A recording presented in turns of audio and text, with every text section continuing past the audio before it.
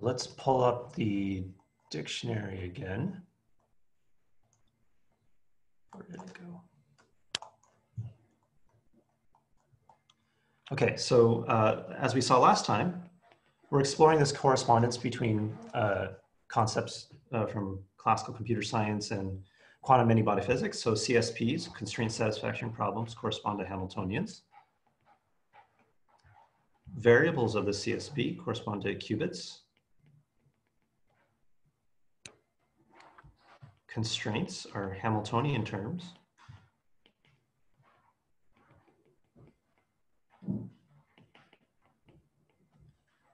Uh, you know, we have like, uh, say an optimal solution is a ground state of your Hamiltonian. And how you measure the solution quantity, uh, sorry, solution quality, this is measured by the energy of a state with respect to your Hamiltonian. Okay, um, and then the corresponding complexity theory has also a nice mapping, like P and NP map over to BQP and QMA, which we'll talk about in depth today. Um, and last time we talked about the Cook-Levin theorem. So there's a Cook-Levin-Sat formula, and this corresponds to a construction known as the Feynman-Kitaev Hamiltonian. Okay, which we hopefully will get to today. All right, so uh, this is the dictionary. Let's uh, keep this in mind. Um, last time we saw uh, a definition of what local Hamiltonians are, right? So we talked about K local Hamiltonians. Um, there's, this notion comes from physics. Uh, it's a way to describe physical systems um, and, and, the you know the local interactions between particles in these systems. Um, but you know the way we want to view it uh, in this class is as a quantum analog of a constraint satisfaction problem. So it's a Hamiltonian acting on n qubits is a 2 to the n by 2 to the n Hermitian matrix that is a sum of local terms, right?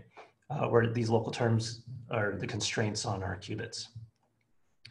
Um, and last time we saw, you know, why it's a generalization of constraint satisfaction problems. Uh, for example, uh, we can write the max cut problem, which is a classical optimization or classical constraint satisfaction problem as a, a Hamiltonian, right? So the classical max cut, you know, if you have a graph, then the, the corresponding Hamiltonian would be you know, for every edge in the graph, you have this Hamiltonian term, which is the Pauli Z matrices acting on qubits U and V. Um, and the ground states of this Hamiltonian will be, you know, uh, the, the ground space is spanned by optimal solutions to the max cut problem. Um, and in the lecture notes from last week, you can take a look. Uh, there's a derivation uh, uh, explaining why the ground states uh, of this Hamiltonian are the, these classical strings that tell you how to obtain a max cut in, in this particular graph. Um, but the max cut problem uh, is a classical problem, right? So um, what are some other examples of local Hamiltonians that are more genuinely quantum, that exhibit true quantum behavior. So uh, I'll just uh, write down um, a very uh, well-studied and well-known family of Hamiltonians uh, known as the, uh, the Heisenberg model.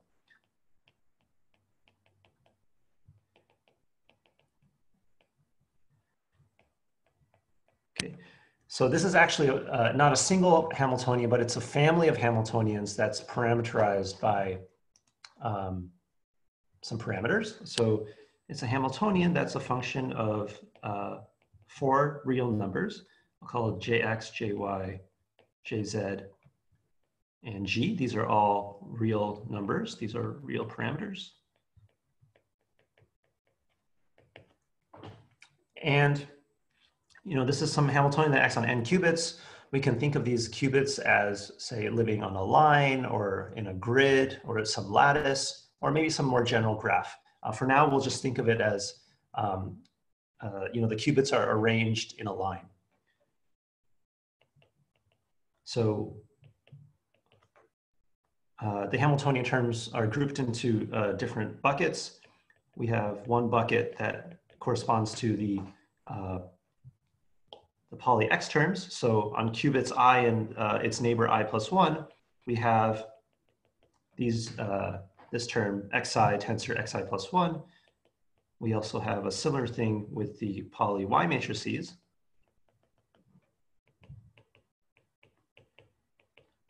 The Z matrices. And we also have this uh, term that runs, uh, we have single qubit X terms. So for every combination of real numbers, jx, jy, jz, and g, we have a different Hamiltonian. And each of these Hamiltonians has a ground energy, has a ground state, has a whole spectrum, right? Uh, and the properties of these ground states uh, can vary uh, wildly depending on uh, what parameters you choose for these j's and, and g, right? So for example, uh, you know, this actually recovers the original max cut, like if you set, you know, j z equals to one, g equals to zero, and jx equals jy equals to zero. This is just the, the max cut, the classical max cut problem.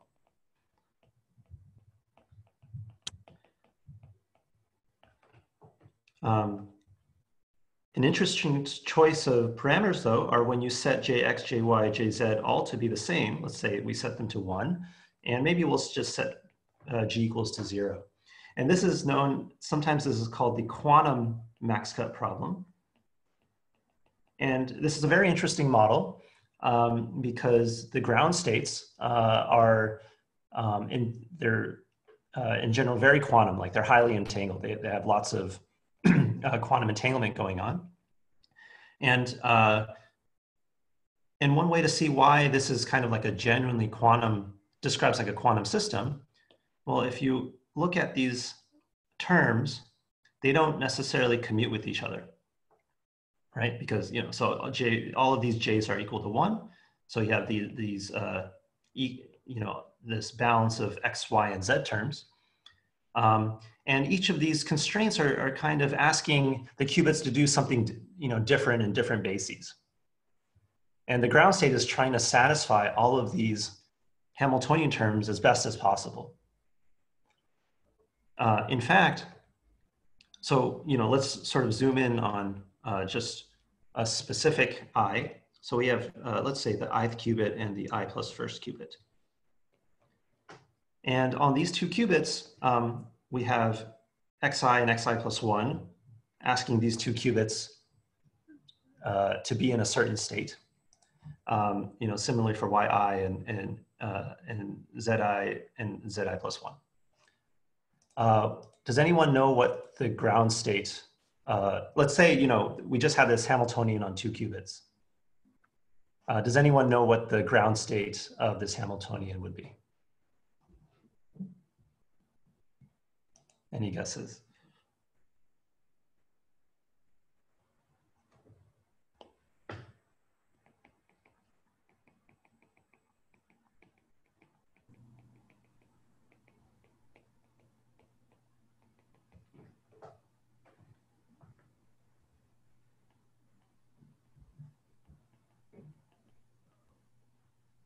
So this is a, a two qubit Hamiltonian.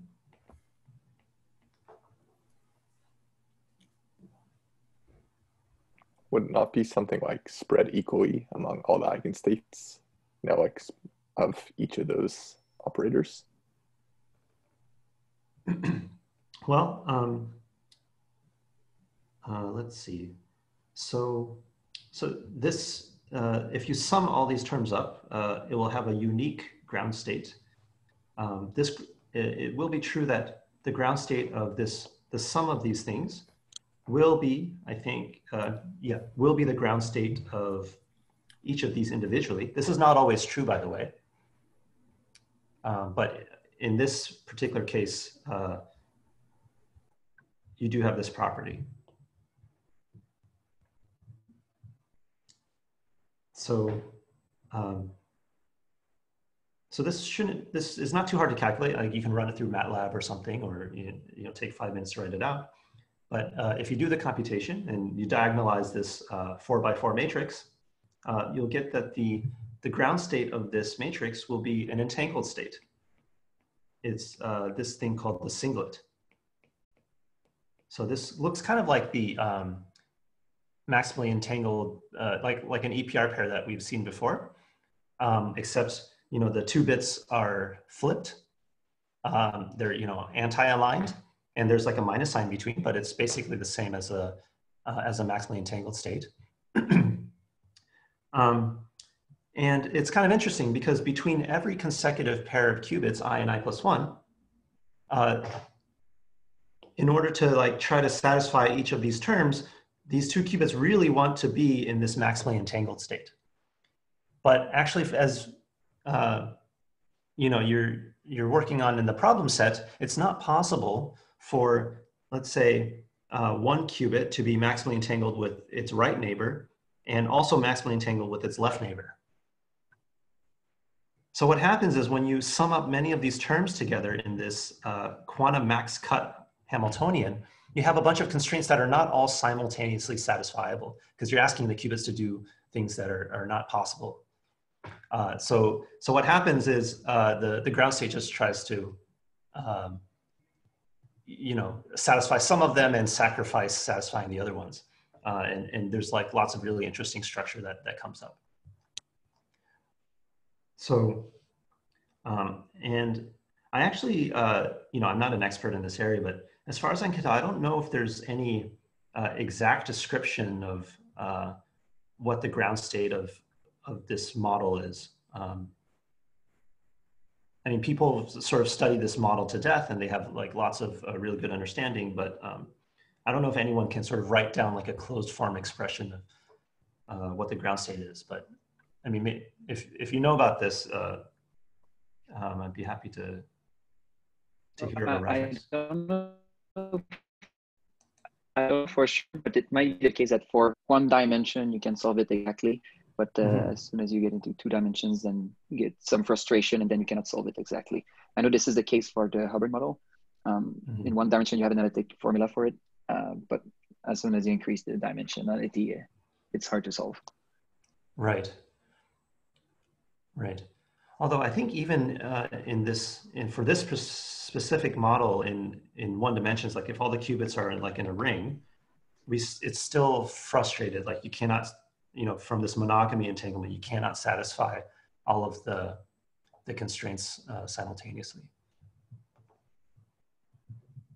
Oh, I see. Adrian seems to have a link to uh, a solution. Um, but yes, you know, this analyzing these sort of Hamiltonians is like the bread and butter of, of lots of uh, um, what people do in physics, from what I understand. And there's like a huge literature around it and uh, there's lots of interesting things going on. Um, so in this class, we're not going to focus on solving any particular uh, Hamiltonian. I mean, that's something for like a condensed matter uh, theory course. Um, but instead, we're going to take a step back and think about this problem of solving local Hamiltonians uh, more abstractly, like just solving Hamiltonians in, in the abstract.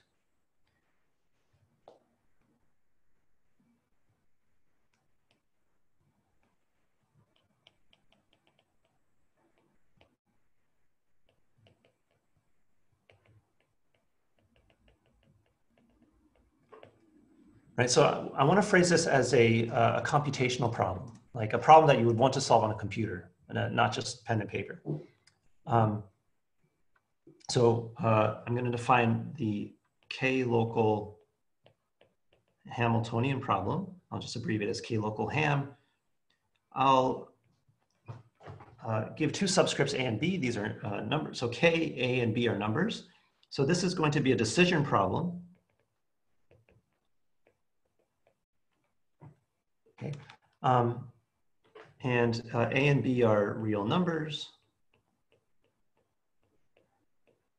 K is an integer that represents the locality, like how many qubits each of your Hamiltonian terms act on. And the instances of this uh, problem like you know the input to your to the computer when you're trying to have the computer solve it uh, is going to be some k local Hamiltonian acting on n qubits. Okay, so uh,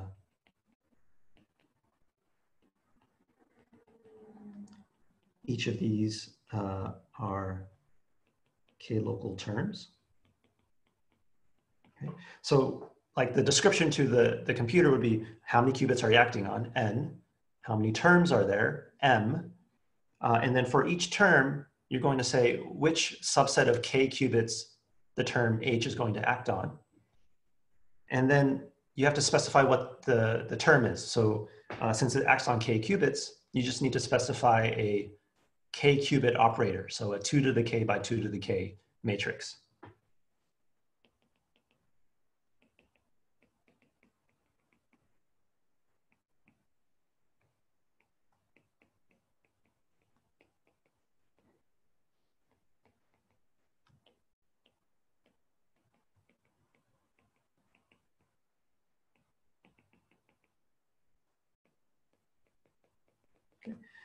And then once you've written down all this data, this tells you everything you need to know. Well, it tells you what the Hamiltonian is.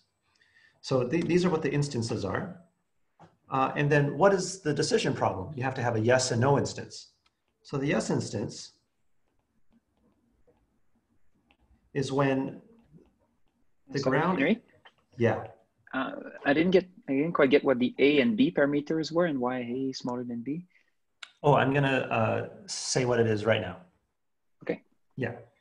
Sorry. Uh, no, yeah, no, perfect. So, so the S instance is to say that the um, the ground energy of this local Hamiltonian, the minimum eigenvalue, is less than this number A. And the no instance is uh, when this minimum energy is, is greater than B, or at least B. I don't know if you, I don't know, is that off screen or something? Uh, maybe, let me do this. So you present this local Hamiltonian to the computer and you're asking the computer, tell me, is it a yes instance or is it a no instance? Is the ground energy less than A or, or, or uh, at least B? And your, the computer has to do something to, uh, to try to figure this out. If your Hamiltonian doesn't uh, satisfy either one of it, maybe the minimum energy is somewhere in between A and B. We don't care. Like we just, it, that's sort of like not part of the discussion. You're promised that the input to the problem satisfies, uh, it's either a yes instance or a no instance. So th that's what this decision problem is. This is what this K local ham AB, you have to do, So, sorry, figure out the minimum energy. Eddie, can I ask a question? Yeah. Oh, like so we don't care about the values of A and B. We just pick two uh, A two values A and B, and we uh, propose th- this. Okay, if it's smaller than A, it satisfies the instance uh, yes instance, and if it's greater than B, then it satisfies the uh, the no instance. That's it, right? Uh, are, are are there any constraint on choosing uh, A and B? Uh, so right now, their A and B can be anything. Um, you, yeah, you tell the computer what A and B you're interested in, uh, but then you fix it, um, and then it has to try to solve it for that A and B. Okay, okay, thank you. But later we'll add more uh, constraints on what A and B are. For example, just to jump ahead, A and B can't be like infinitely close together because then you're asking, I mean, that's like too fine a distingu- distinguishing problem, right? You have to have a little bit of gap to, to allow the computer some room to, to distinguish between the two. Okay. Just so I, so I can wrap my head around what that means. Do you have like a concrete example of a, some decision problem, and for which what A and B would be? Okay, that's a great question. So, so here's an example. Let's let's go back to the classical case. Uh, just uh, at least for me, it's very helpful to ground my intuition in what what this means. Um, so, so I claim that this max cut problem. Um, you know, you walk up with this graph, and then we had this Hamiltonian that I wrote before. So you have this Hamiltonian, which is the sum over ZU tensor. Uh, ZV. Um, so it turns out that the, the minimum energy of this um, of this Hamiltonian, it's going to be um, the number of edges of your graph minus, uh, I think it's twice the size of the maximum cut. Okay. So the lecture notes from last week will uh, derives this, so you, so you can take a look. But just uh, take my word on this for now. Um,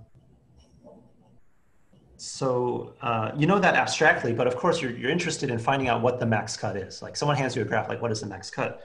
Uh, this can be phrased as an instance of this uh, k-local ham problem. So max cut is, um, it's sort of a two local Hamiltonian problem because these are, these are two local terms. And what are the A and B? Well, the A could be, let's say you're trying to determine whether, um, basically you set two thresholds. Like you want to know, is the cut bigger than uh, 2C1 or is it uh, smaller than 2C2, uh, uh C2?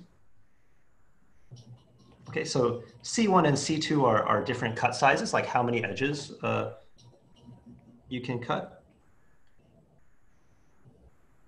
So if you could distinguish between whether the minimum energy is below uh, this amount or above this amount, that equivalently tells you whether the max cut is, uh, sorry, I think I messed this up. This is C2 less than C1. The point is, suppose you, you took this Hamiltonian and you knew that its minimum energy was less than m minus 2c1. That tells you that the max cut must be at least as large as c1. On the other hand, if the minimum energy is greater than m minus 2c2, the max cut has to be smaller than c2. So this gives you a way of it's like a, a, another way of calculating the max cut uh, size, at least between two different cases. Okay, so like it's basically uh, trying to or like fit these two values so that your solution uh, basically makes sense, right? So uh, you have this kind of a gap or a range where you know if if that is the case, if it is below that, uh, it's yes problem, but you don't care how or like what the actual range is. Right. Right. Um, of course you say, well, what if I want to know more information? Like, what if I want to know what the actual minimum energy is or what the actual max cut size is? Well, you can do, you can sort of sweep the A and B until you've homed in, you know, you can do like a binary search. Is it less than or bigger than this? Okay, yes, then let me shift the A and B until you've homed in on the right value. Okay, so the reason we put this A and B is just to put it in, in, in, the, in the language of a decision problem. Yeah. Good questions. Uh, any other uh, any other questions? Um, be good to make sure that we understand this. Yeah. What happens if it falls between the gap, There, then we sort of there's we don't care. Yeah, then we sort of kind of give up, or we like we don't care what the answer is because it's sort of in this gray area. Um, the way we're formulating it, it's we're, we're, we're sort of as implicitly assuming that the input satisfies the yes or no in, instance. Uh, if it's somewhere in between, then we, we sort of just throw up our hands and say we don't necessarily know. And explicitly, A equals B is not treated here. Or can A equal B? uh, it's A cannot equal B because then the like the yes and no instances should be disjoint. Okay.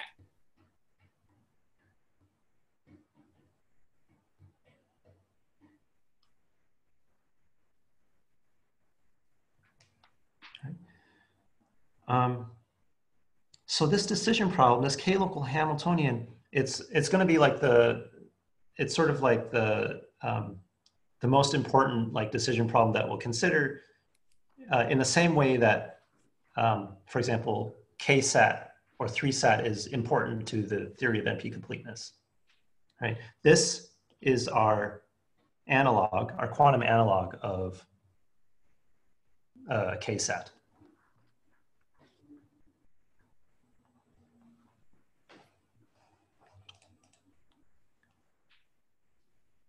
All right. Um, so what is the, you know, I've defined a decision problem. We can then ask, what is its complexity, right? Like, uh, just like classical CSPs have NP completeness, like is there an analog for quantum CSPs? And this brings us to uh, the notion of QMA and, and QMA completeness.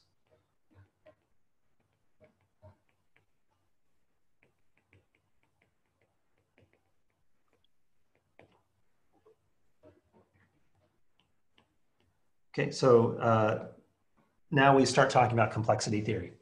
Um, actually, before I go there, let's let's just start with uh, the quantum analog of, of P, which is this thing called BQP.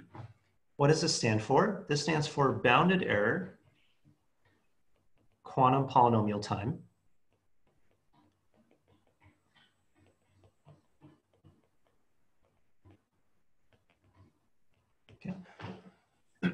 And um, remember that complexity classes, they're sets of decision problems. Um, and this is a set of decision problems that can be decided or solved by polynomial time quantum algorithms uh, with bounded error. So some decision problem is in BQP. If there's some polynomial time quantum algorithm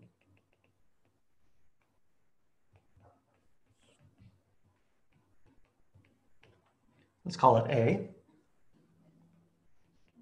such that if your the instance that you you've walked up with is a yes instance of whatever decision problem you're, you're thinking about, then when you plug in X into your quantum algorithm, it's going to output one with probability at least two thirds. And the reason we're talking about probabilities is because, well, quantum algorithms are inherently probabilistic. So they don't always work all the, all the time. We just insist that they work most of the time. And here we're picking two thirds just as some, um, it's kind of an arbitrary threshold. Uh, if, if X is a no instance, then X equals one with probability uh, less than one thirds. Uh, you can pick any two separated constants like, you know, 99 uh, for the yes case and 0 0.1, 0.01 for the, the no case. Um, and it just reflects how much confidence you have in the output of the algorithm. Um, by convention, we just like to choose two thirds and one thirds, uh, but really it's, it's arbitrary. Uh, so what do I mean by a quantum algorithm? Um,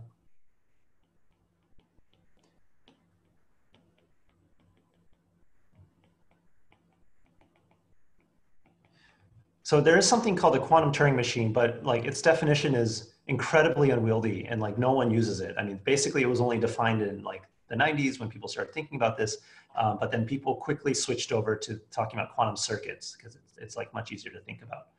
Uh, so, so by uh, quantum algorithm, um, what we really mean is that A is uh, not just one thing, but it's an infinite family of quantum circuits.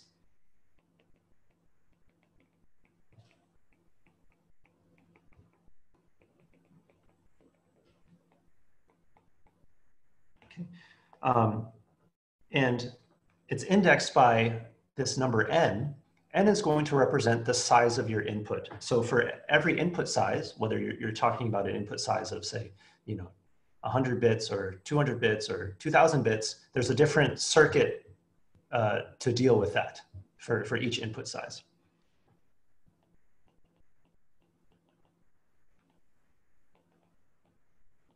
So if you walk up with some instance x that has that's n bits long.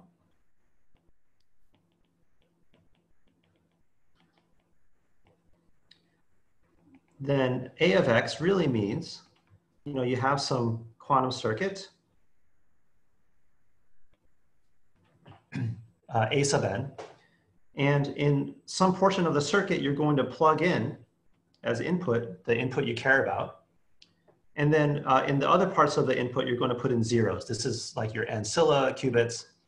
Um, they're like the, the scratch uh, this is like the workspace that your algorithm has to do its computations. It runs its computations, and at the very end, uh, you're going to have a single output qubit that you're going to measure to get the determine whether the answer is uh, one or zero.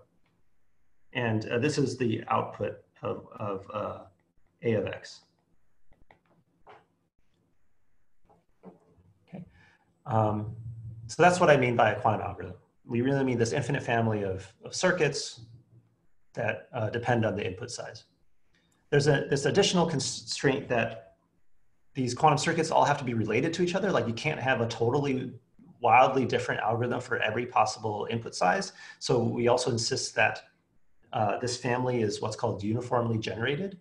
Um, uh, but you know, if, if you don't know what that means, don't don't worry so much about it. I mean, it basically means that there's uh, a separate algorithm that you know you tell it, I want the nth circuit of this family, and uh, this algorithm will will write it out for you.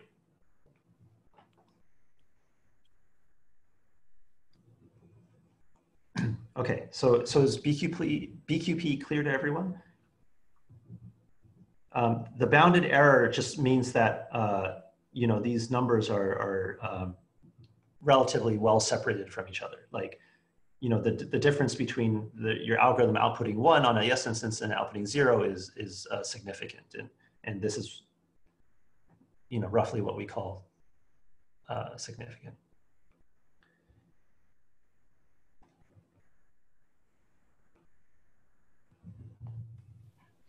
what's the implication of choosing these numbers? Would would things be drastically different if we chose a different threshold to begin with? Uh, good. It's it's not um, uh, sensitive to what numbers you choose as long as they're separated by a constant. So you could choose 99% or 1% um, or uh, you know 51% or 49%. Um, the set of problems that you can solve in polynomial time don't change because you can always amplify. Like if you wanted to get more confident in the answer of your algorithm, you would just repeat the algorithm uh, as many times as needed. As long as it's not an exponential amount of time. Exactly.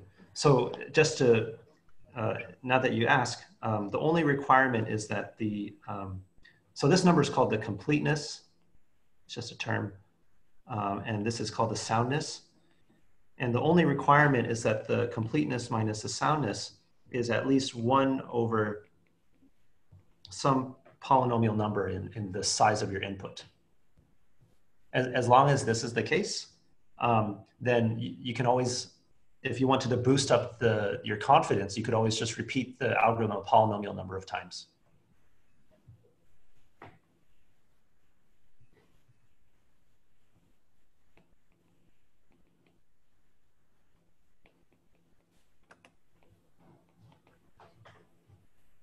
Okay, so that's BQP, that's the analog of um, classical polynomial time. Now let's move on to uh, NP and its analog QMA. Okay, so QMA stands for Quantum Merlin Arthur. Hey, Henry. Yeah. Sorry, just, just a quick question about the nature of the circuits. So what is the precise source of randomness? Is it just the randomness that's inherent in the input qubits? or is it also allowed to use some external sources of randomness? Uh, the randomness comes from um, measurement. So sure, yeah. Uh, there's no, I mean, everything, the input here is deterministic. It's just the input in all zeros. But uh, quantum algorithms can easily manufacture their own randomness.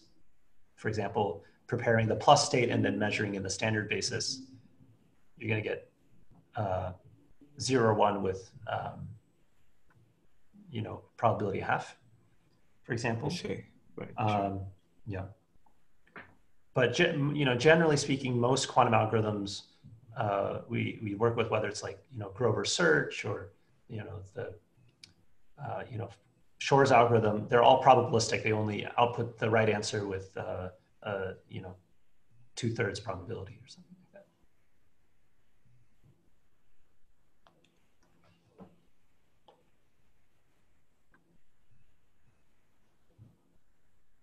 Yeah, so Alex was asking uh, what is bounded error play? Yeah, that's just two thirds versus one third. Basically, as long as uh, C minus S is at least uh, one over polynomial, uh, then that counts as bounded error.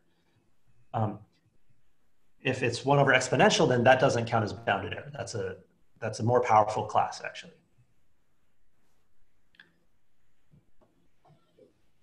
So QMA, um, so this one should, you know, you might be able to already guess what the definition of this should look like. But let's write it out. So a decision problem is in QMA. If there exists um, a quantum polynomial time algorithm, again, which means a family of uh, circuits, and this algorithm will take in two inputs, uh, not just x, the instance, but also uh, an additional input called the proof.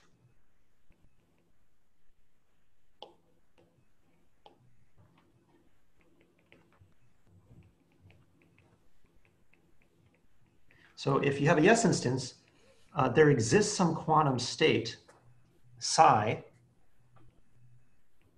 such that if you plug in your input and also this quantum state, this accepts with this uh, equals one with probability two thirds. And if X is a no instance, no matter what proof state you plug in,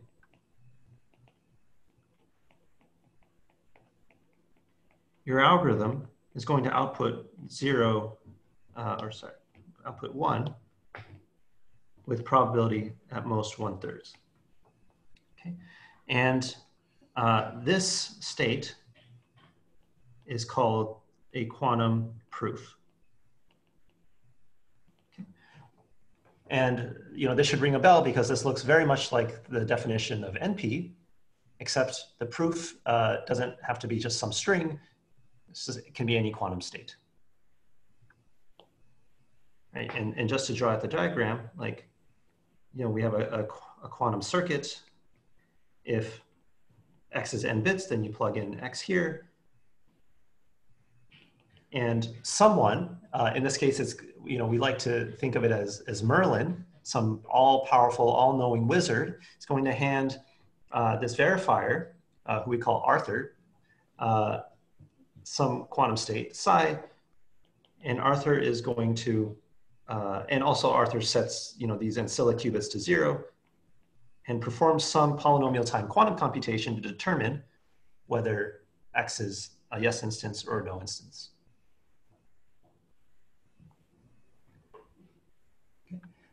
Um,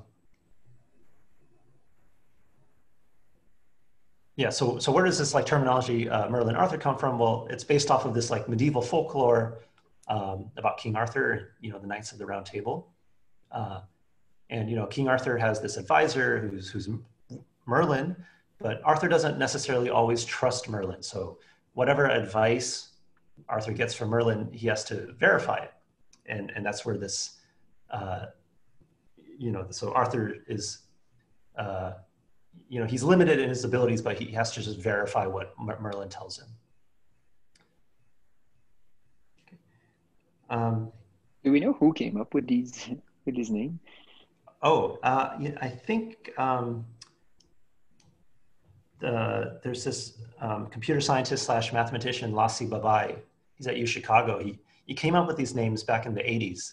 Um, this was before quantum computing was really uh, studied, and so in classical complexity theory, uh, you know, people were just having fun coming up with these complexity classes, and they defined a notion of Merlin Arthur um, uh, Merlin Arthur proof systems, right? So it's exactly the setup. Like someone wants to determine, solve a problem, they can't solve it on their own, so they want to get a proof, just like in the NP setting. Um, and, and so we just like to think of them as characters like Merlin tries to convince you of X is a yes instance, he gives you a proof. Uh, Arthur is able to perform polynomial time computations. Arthur is also able to do probabilistic uh, computations uh, to determine uh, whether that's the case. And so when quantum computing came around, they sort of just adopted this, uh, this naming.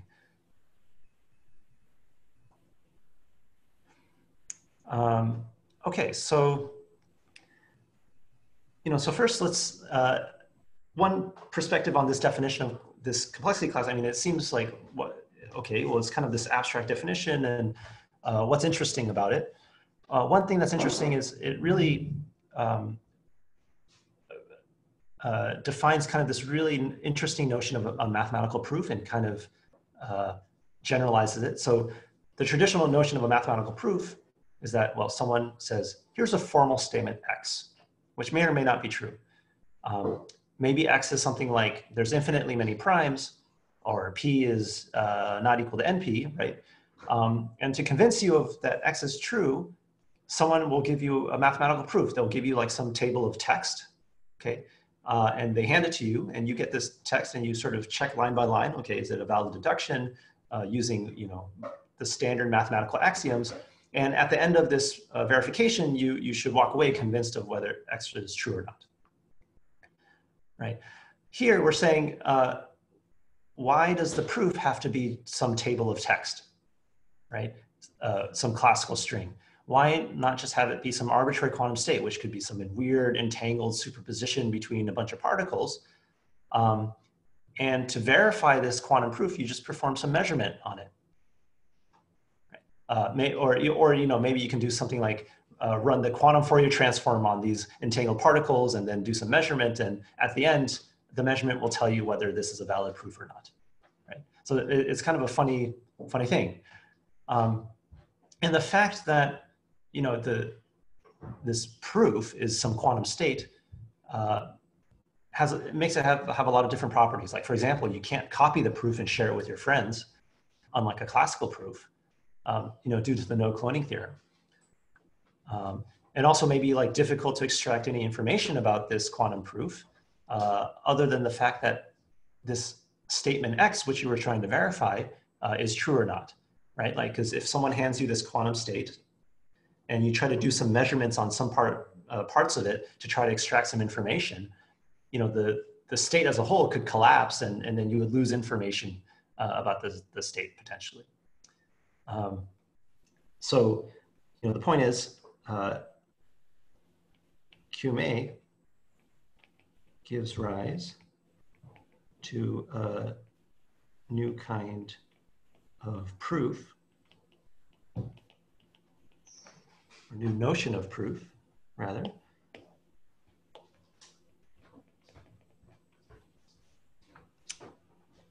Um, and actually, this notion of proof expands the realm of uh, things that we can efficiently verify. So examples of uh, things that can be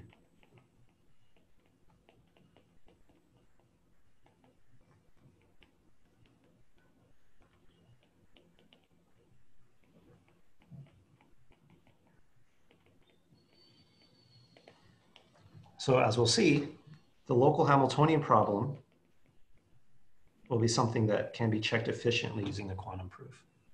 Right? I'll get to that in a second. Um, there's, but something that's not related to physics uh, would be something called the group non-membership problem.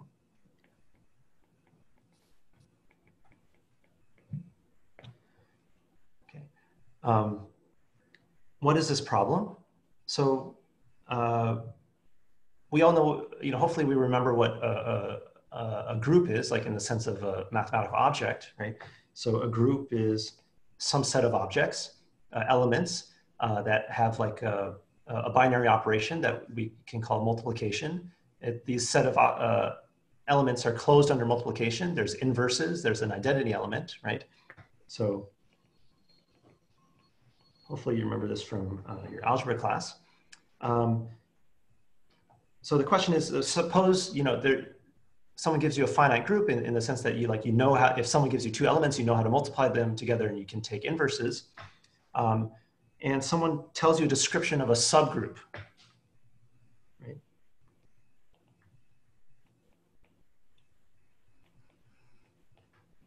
And then now someone says, here's an element little h of this group G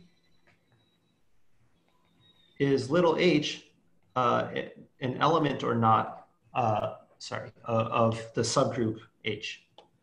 And you have to determine whether that's the case. Okay. And um, this problem, like we don't know how to uh, efficiently, like if, if this little h is not an element of this subgroup, this seems like a hard thing to prove uh, by just uh, writing down a classical proof, right? Basically, how do you show that something is not in this subgroup? Well, you have to show that there's no possible way of, of, of reaching H uh, just by take, multiplying elements of this subgroup.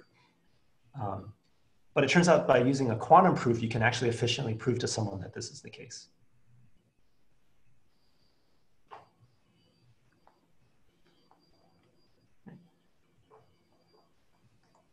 Um, so let me be a, a little more precise because this is actually a really cool um, uh, demonstration of, of, uh, of quantum proofs.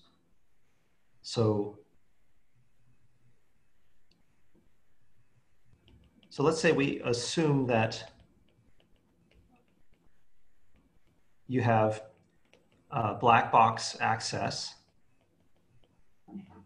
to uh, G, this group, meaning that you have some box, you can plug in uh, two elements A and B, and out comes the product AB. Okay, you don't know how it's it's uh, doing this multiplication, but it just spits out the the product. Um, you can also ask this box, uh, tell me an inverse of some element, and it'll say, okay, here's the, the inverse of, of element A, for example. Uh, and, that's, and that's how you have access to the group. Um, and let's also assume that you have some a priori upper bound on the size of this finite group. So you know that S size at most 2 to the n. So this means that um, every group element can be represented using, um, say, uh, n bits. So you can write down the names of group elements. You can multiply them together efficiently using the access to this black box. Um, so you have this black box, and you also have a some set of elements of G that you know, and someone hands you this set of elements, they generate a subgroup.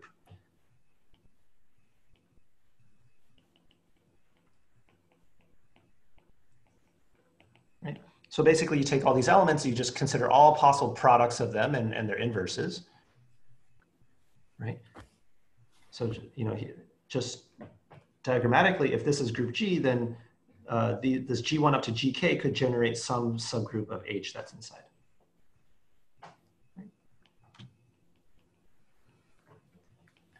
So, and then also someone just hands you some element H uh, in, in this group. Randy asks, the group does not have to be abelian. Uh, that's right, it can be an arbitrary finite group. It doesn't have to be uh, commutative.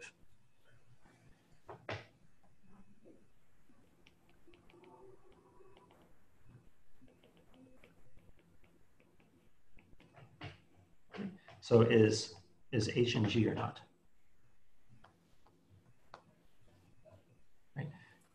Um, don't you mean is it H and H or no? Sorry, uh, I keep on writing that. Yeah, is, is, is H in, in, in big H in the subgroup. Okay. Um, so if H is actually an H, then it is possible to prove to someone that this is the case.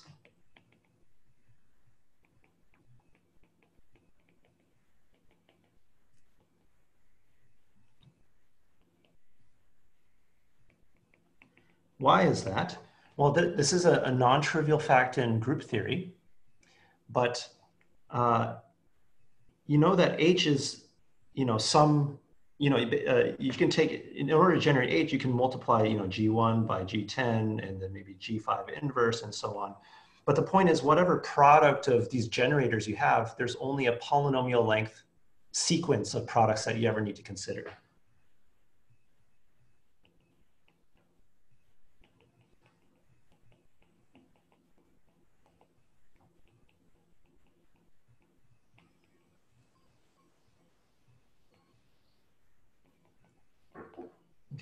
So you can just tell someone, here's the, the polynomial length sequence of generators, and then that person can use this black box of G to multiply them together and say, oh yeah, it actually outputs H. So that's no problem. How do you know that you only need a polynomially sized sequence? Ah, um, so it's not obvious. I don't know the proof to this. Um, this uh, uh, comes from, um, yeah, it comes from some non-trivial fact in, uh, in theory. Yeah, I think you even might rely on the classification of finite simple groups, which is very non-trivial. So uh, non, yeah, non-trivial um, fact. Yeah, and then Adrian says this might rely on some really uh, heavy machinery, but whatever. Uh, it's apparently a true fact. So you know this this tells us that uh, proving to someone that group membership is is in NP. But here we're actually interested in group non-membership.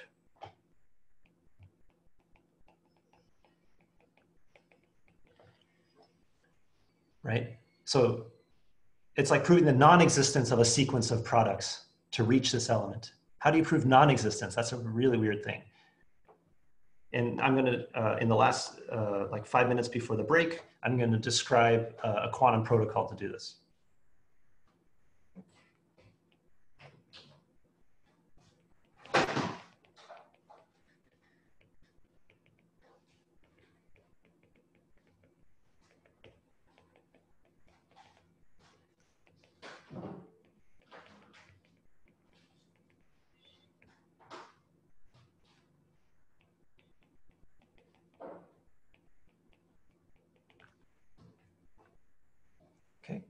Um,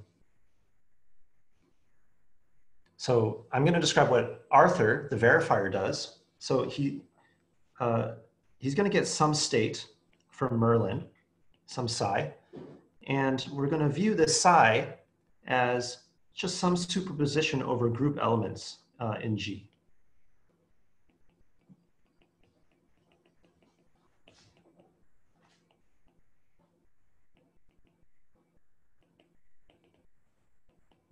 Okay.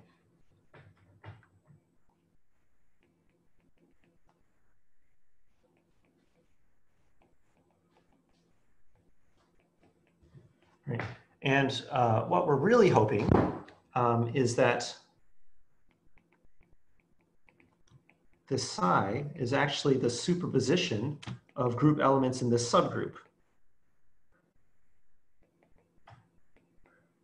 Okay. Um, this is what Arthur's hoping, but we don't know that this is the case. Okay, because Merlin, again, he might be devious, he might be trying to trick us. Um, he's just sending us some quantum state, but whatever. Uh, it's, it's, we're going to interpret it as a superposition uh, over group elements. So, um, so Arthur performs um, two tests. So uh, one test is going to be called the membership test. And it's going to be this uh, quantum uh, circuit. So it's very simple. Uh, he prepares one qubit in the plus state. This is the equal superposition of zero and one. And he gets, he takes this state that he gets from Merlin and controlled on this plus state, he's going to apply a controlled multiplication by h. So I'm going to call it um, uh, okay, and I'll explain what that means in a minute.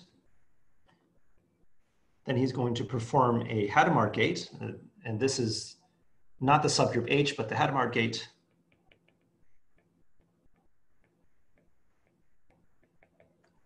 And then he's just going to measure this um, to determine the answer of this non-membership query.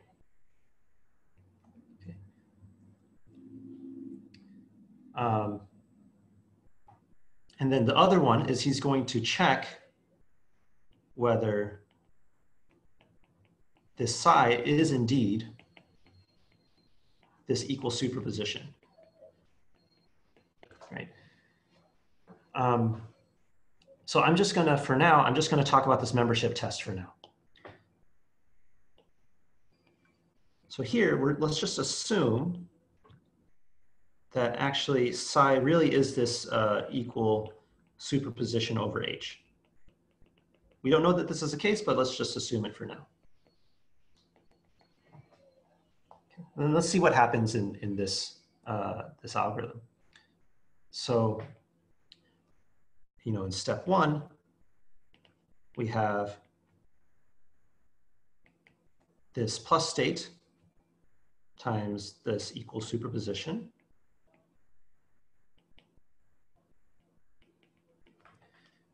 Right? We do a uh, controlled multiplication. So uh, actually, you know what? Let me write this out. So what's the, the plus state is zero and one over root two. So in the case that the, the control qubit is zero, we don't do anything. So we have one over root two, one over square root h.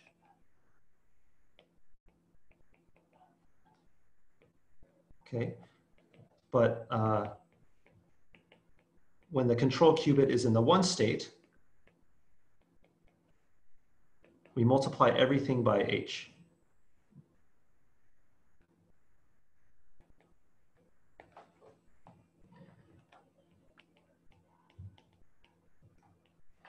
Right, so, so we've gotten to this step right now.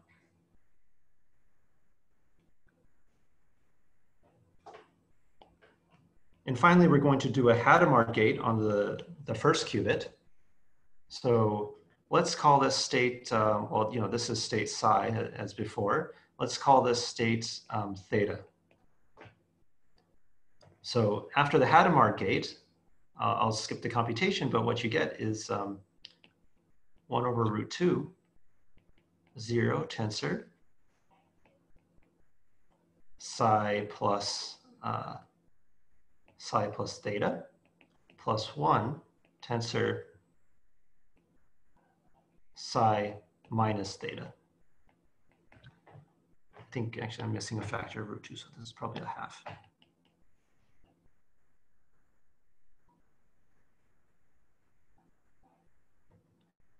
Okay, and then, and the point is we measure uh, this qubit to determine whether uh, this, this element h, little h, was in the subgroup or not. So here's the claim. We can break it into two cases. Suppose that h was really uh, an element of this subgroup. Can anyone tell me what, what this state theta looks like? wouldn't that just be psi? Because if uh, you multiply elements of group by an element of that group, it just identity gives you back to the subgroup. Exactly. So, so here, where, where was my diagram? Uh, so here, H, we're assuming that H is part of this big H. So if you multiply everything in, in big H by H, it just sort of shifts everything around, but you haven't moved outside of H, of capital H. So, so this is still as Hugh said, an equal superposition over elements of H. So what happens is that the psi minus theta is going to be zero. And then you're going to measure ket zero with probability one. So the algorithm has correctly identified the no instance. Now suppose H was was not a member of the subgroup, then uh, what can you say about the relationship between psi and, and theta? So first question, are there any overlap between the elements of here and the products here? No. Not, they're completely disjoint, right? If you take a subgroup and multiply it with an element that's outside the subgroup, you're going to completely shift that group. So psi is orthogonal to theta, and then you're going to measure one with turns out with probability a half. Okay, it won't be 100% certain, but you'll at least get uh, one with probability a half.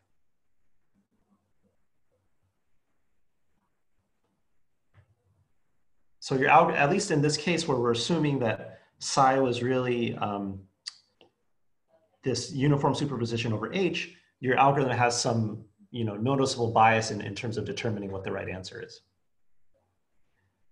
Um, okay, and uh, good. So, so we're almost done. The the only th thing is, well, how do we we have to check how how do we actually have this uniform superposition? Um, and this again uses some uh, non-trivial results in, in group theory. Um, if someone hands you a, a state, an arbitrary state, you can test whether it's it's uh, and you have the generators of of this subgroup. You know, you have the generators of the subgroup. You can test if the state is the superposition over over um, that subgroup by first you generate a random element of the subgroup, which is possible to do uh, in polynomial time, and then you just basically multiply the state uh, with that random element and you see if it leaves the state invariant. Okay. So I'll just, I'll just write that down and, and we'll take a break.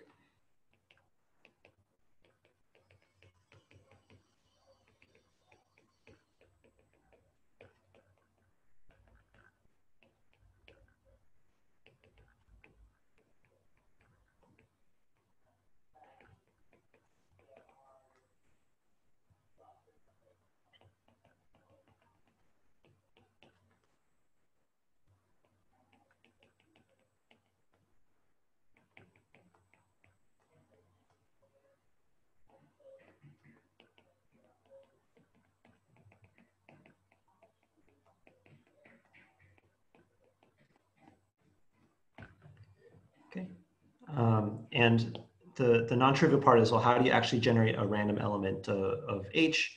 Uh, this, again, uses, yeah, this, this non-trivial uh, group theory, but it is possible. Okay, so uh, let's take a 10 minute, uh, or sorry, let's take a five minute break. So let's come back at 5.15. Uh, then we'll, we'll go back to Hamiltonians.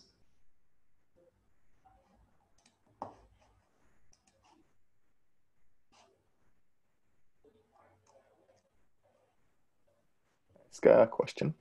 Yeah. Um, just back to the def definitions of BQP and QMA. Um, mm -hmm. Are we allowing X to be quantum as well, or does X have to be classical? Here, X is classical. Okay. Would um, it make a difference if we allowed X to be uh, quantum? Super great question. Uh, so it, people really haven't formulated uh, a theory around that so far people focused on classical inputs X because uh, they want to relate it to classical complexity theory, in which case the inputs are always classical. Um, but actually this is something I'm interested in, which is like, uh, can you define a, a complexity theory with quantum inputs? Where you have decision problems uh, that are sets of uh, quantum inputs.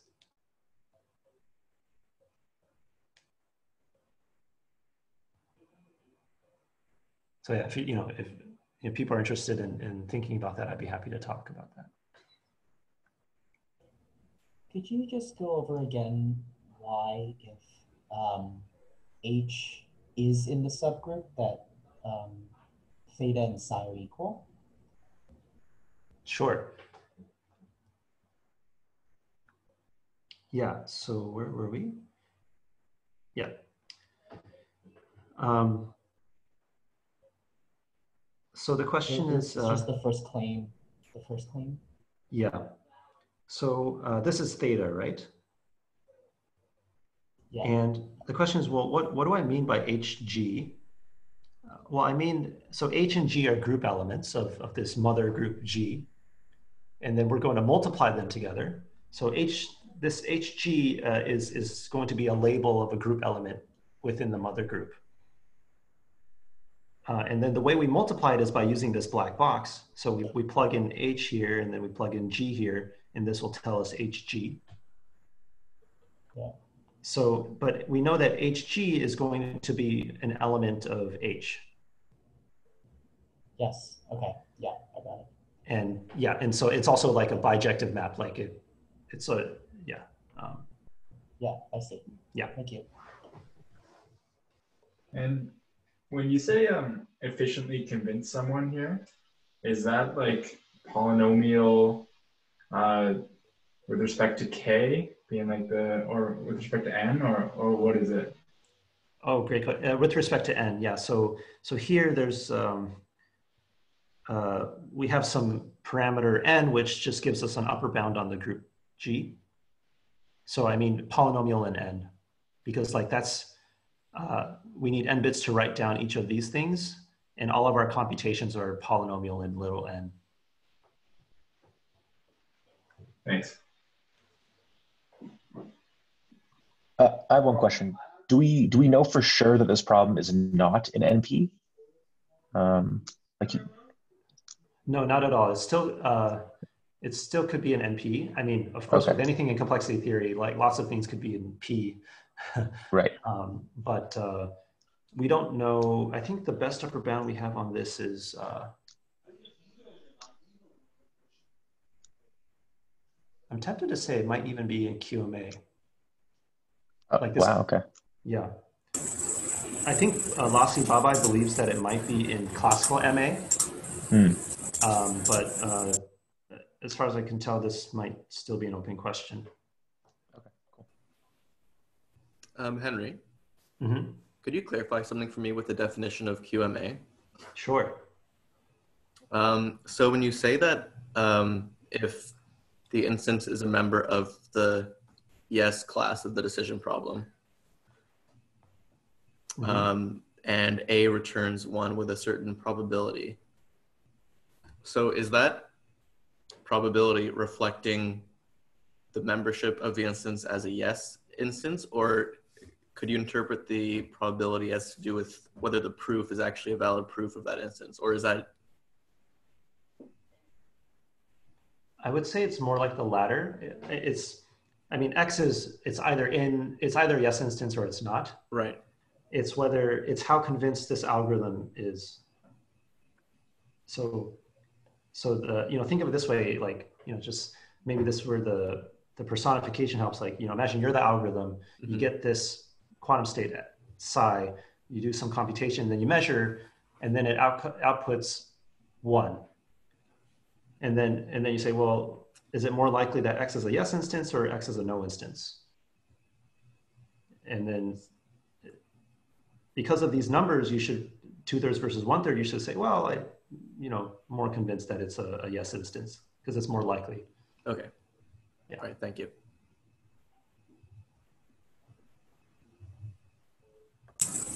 Yeah, I, I was looking at Aaronson. Aaronson has some um, notes on group one membership and says that it's an AM. It has an Arthur Merlin protocol. So, Oh, I Oh, oh, I see. Oh, also, Adrian, you sound like Darth Vader. oh, is my mic not working? Uh, it, oh, it's very, very scratchy. Okay, well, I'll try to figure out what's going on. I see, but uh, yeah, I guess Adrian said it's uh, it's an AM, which um, I guess that's incomparable to QMA. It's an interesting thing. Yeah. Uh, let's see. Randy asks, uh, I might be missing something, but the quantum proof does not depend on the little h. Yes, the quantum proof only depends on the subgroup of big H. Um, well, in, in this in this analysis, we're, we're assuming that Merlin is is is being nice and, and telling you the right thing. In the adversarial case, uh, Merlin can give you anything, um, but we have a this extra test to check that he's he's giving you the right kind of proof state. Um, yeah, and then Hugh says, yeah, the, what what the verification algorithm does, it, it will do something that depends on little h. Great questions. Um, okay, so yeah, maybe let's let's continue on. Um, so this group non-membership thing is, kind of cool because it's like groups and and you know membership of elements in groups. This is something that comes from like abstract algebra, right?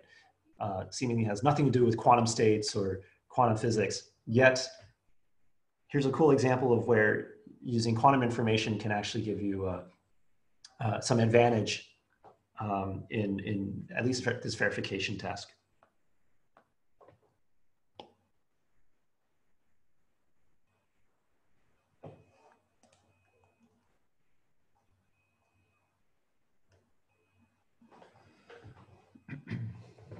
Um, okay, and, and just an, another comment about like, you know, you look at this, you're saying, well, where is the, the quantum advantage coming from? And it might be tempting to think that, well, you know, quantum states are, are really complicated, right? Like if you have n qubits, to describe n qubits, you need a two to the n size classical description. You need to keep track of exponentially many parameters to describe this quantum state. So maybe that's why, uh, at least in this group non-membership problem, uh, Merlin is able to convince you with a quantum proof because he's packing in, maybe he just takes a, an exponentially long classical proof and squeezes it into an n qubit quantum proof and, and somehow that's what's happening. Um, but that's actually, uh, that would be kind of like the wrong intuition to take away um, because, you know, um, you know, even though an n qubit quantum state requires uh, exponentially many parameters, you cannot reliably store uh, an exponential amount of information in n qubits. Uh, because if you, if, you, if you try to do that and you send these n qubits to someone and they try to uncompress or recover that exponential amount of information, you know, they would make some measurement, but then the state would collapse and all that information would just disappear. Um, so quantum states are fragile in that way. Um, in fact, you know, forget exponential. If you have n qubits, there's something known as Holevo's theorem that says you cannot reliably transmit more than n classical bits of information using n qubits. Okay, so uh, this advantage and verification for the QMA setting is, is coming from something else. And um,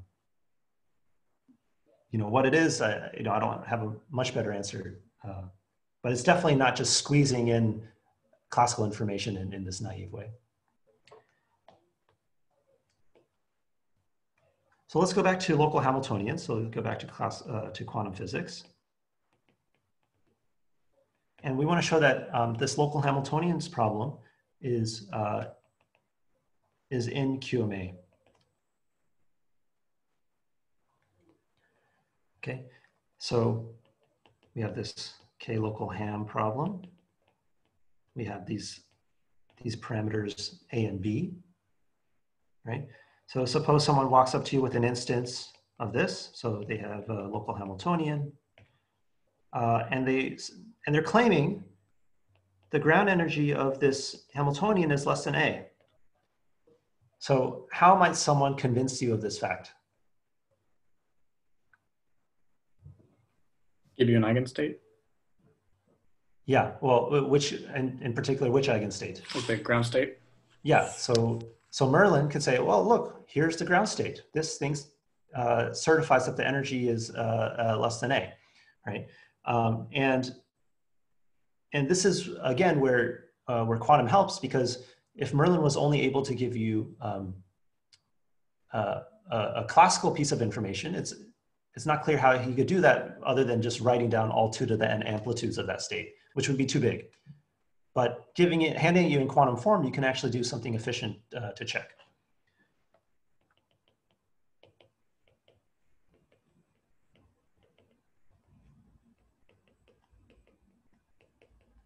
You, you want to check if uh, this, this proof state H really has low energy with respect to uh, some local Hamiltonian. Um, So, so how do you do this? Well, let's, let's sort of just write out, expand out the, the definition of this energy. So this is equal to, well, we have a bunch of local terms, right? Each HI, this is where locality comes into play, hi only acts on k qubits. So think of k as being like two or three qubits, right? So you really just have to measure. So for each term i, measure the energy of psi with respect to uh, that local term.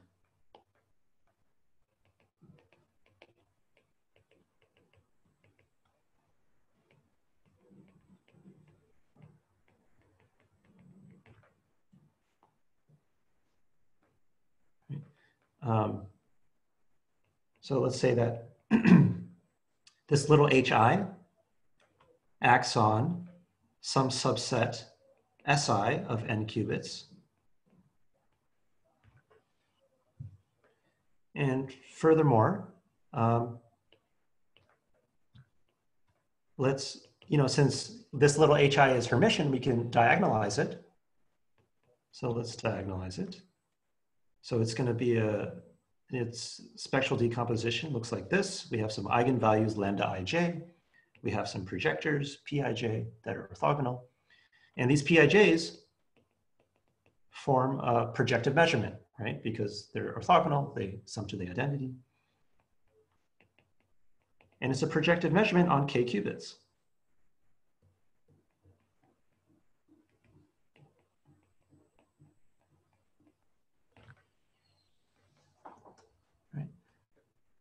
So again, just uh, continuing to expand,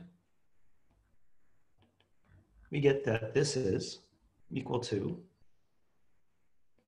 um, sum over i, sum over j. We have lambda ij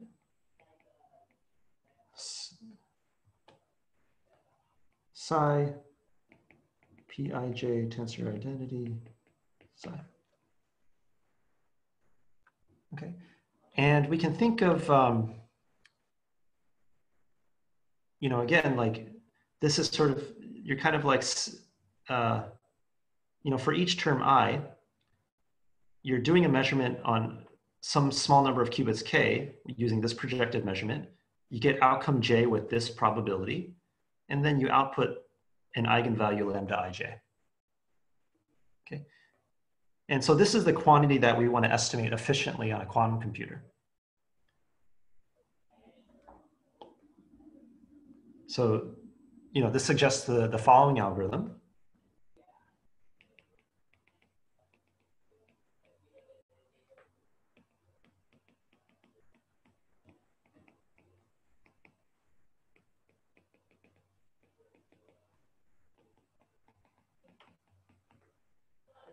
Right, so uh, step one of the algorithm, let's assume for now that the input is some large number of copies of the supposed ground state.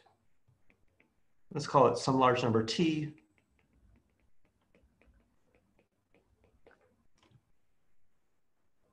Okay. So step two, we're gonna have some counter that just uh, keeps track of uh, our energy. And then we're going to do the following many, many times. So for t equals 1 up to big T, we're going to um, we're going to pick a random term to measure.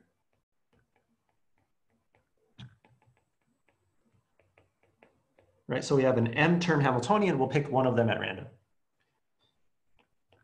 We're going to load a fresh copy you know, one that we haven't used yet, fresh copy of psi, right? We have many copies of psi. Let's just take the one that we haven't used it, uh, used yet.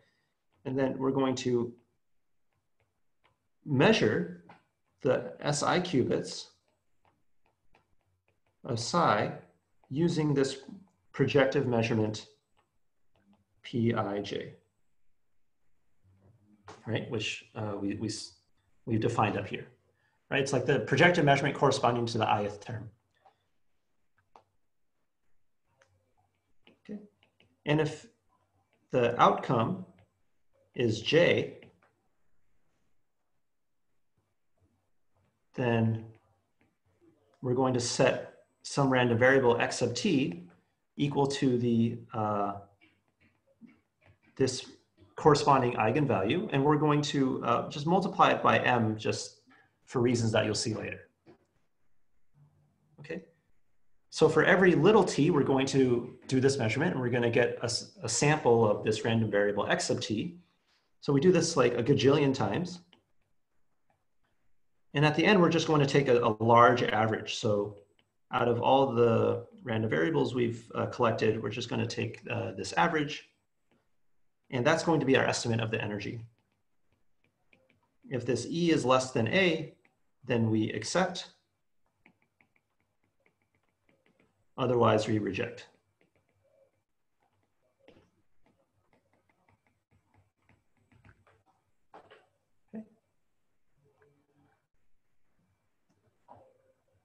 Any questions uh, so far about the description of this, this verification algorithm?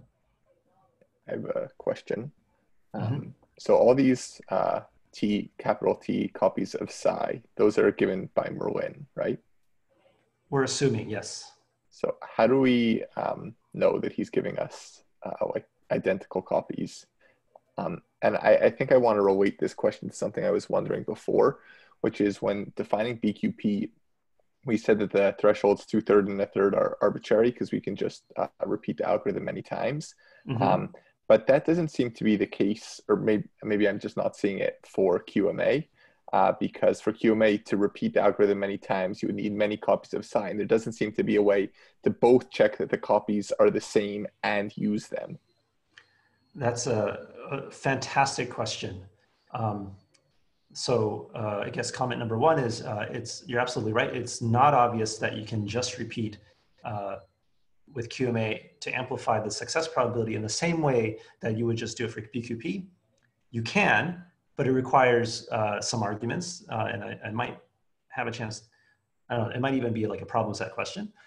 Um, uh, comment number two is um, you're saying, how do we know that Merlin is handing us T identical copies of the same state, right? Like, you know, we're thinking of Merlin as being someone who's trying to make our lives difficult. Um, so instead of handing us uh, T copies of state, he could just hand us some arbitrarily complicated entangled state across T registers. That's possible. Um, it'll turn out that uh, it doesn't help Merlin to do this. Um, but just for now, just to, to make things simple, let's assume that uh, we really do get fresh copies of, you know, IID copies of the same state. So, but that, that's a really good question. Um, uh, in fact, I'll make a note of it.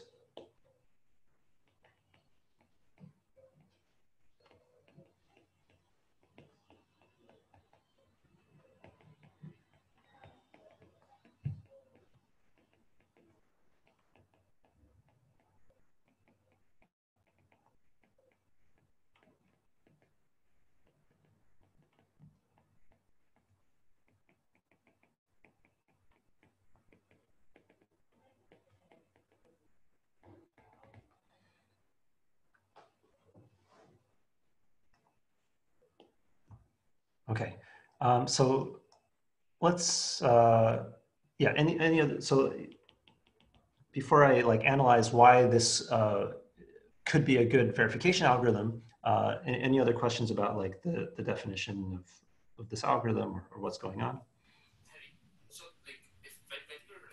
every let's say for every because you're randomly picking the terms from the hamiltonian right mm-hmm. then then that is basically estimating the eigenstate of that local term and not the full Hamiltonian. So there mm-hmm. might be a case when uh, the a term might not because you, anyways you are picking it, picking it at random, right? So uh, shouldn't there be a like a I don't, know like a assurance or something that you have picked all the terms because if you haven't you cannot uh, it's it's not the the, the full eigenstate of the the Hamiltonian, right? Because you, you might be missing a term or something.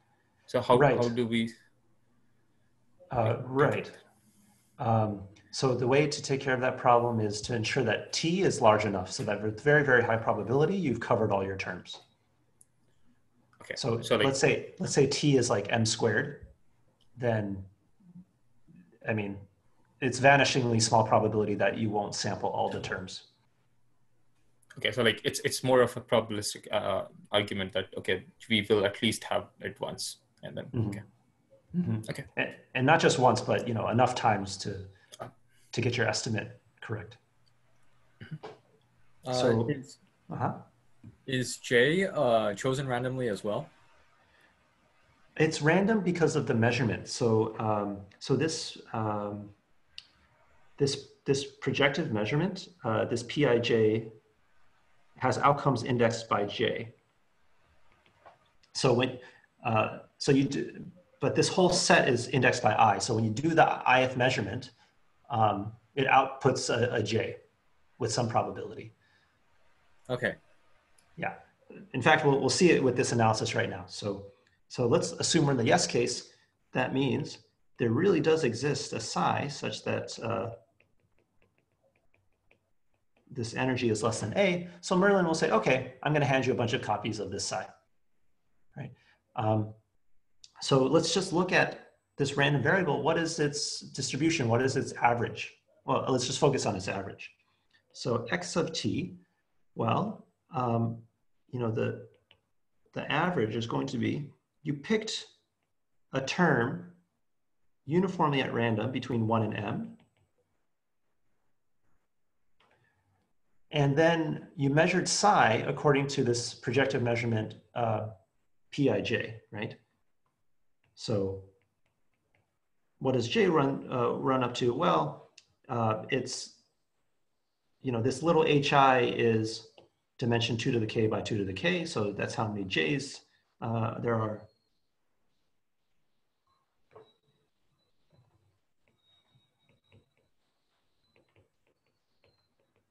Right, this is the probability of obtaining the jth outcome, given that your term is the ith term. Once you get that outcome, your random variable is going to take on value uh, lambda ij times m, right? according to, by definition. But you know, this should look very familiar. The m's cancel, and I claim that we just get this energy of psi with respect to h. Right? Which is the thing you wanted to estimate. So it's very good that this random variable has its, its expected value is the, the number we really want to estimate. And we're, we're drawing t samples of this IID of this same random variable.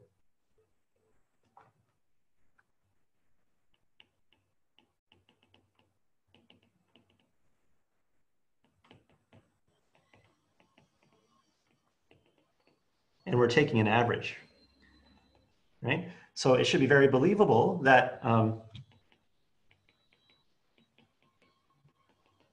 as t goes large by like, you know, standard concentration arguments or law of large numbers, this is going to converge to the expected value, which is um,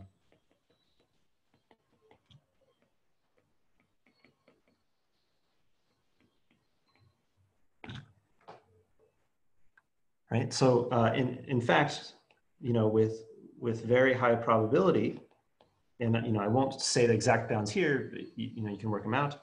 Um, we'll have the following guarantee that this average will be, you know, within plus or minus epsilon of the true number you wanted to estimate. Okay, and by taking t to be some sufficiently large number that's polynomial in the number of terms you have, the number of qubits, uh, we can guarantee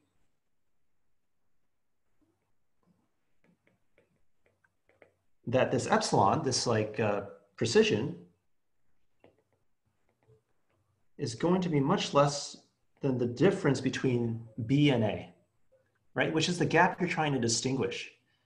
So you know, once you've guaranteed this point, then your estimate will tell you whether you're less than A or, or below, uh, less than A or above B with, with high probability.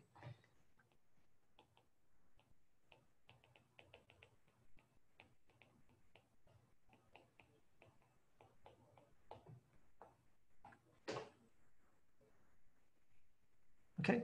Uh, so, so that's, you know, so hopefully that should make a lot of intuitive sense. I mean, you're, you're just making these local measurements randomly, but you're doing enough of them to estimate the, the global energy um, uh, with, with high confidence and high precision.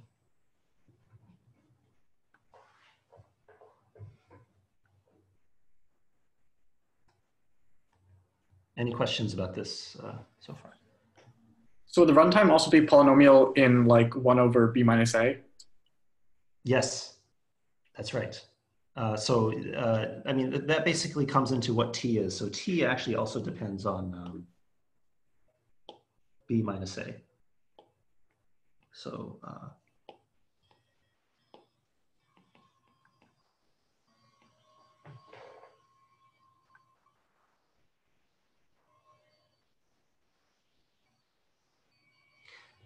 actually, I think I forgot. Sorry, I think I forgot to say something about this um, local Hamiltonians problem that's uh, kind of important for this.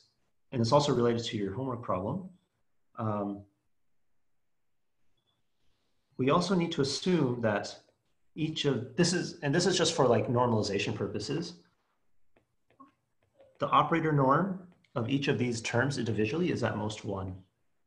The, the largest eigenvalue of, uh, of each of these terms is at most one. So this is just to ensure that like your scale for which your energies uh, live at uh, aren't like, you know, off the charts. Um, or, you know, to put it another way, it means that these lambdas uh, are um, between minus one and one. So, you know, you have some reasonable bound on, on what these lambdas are.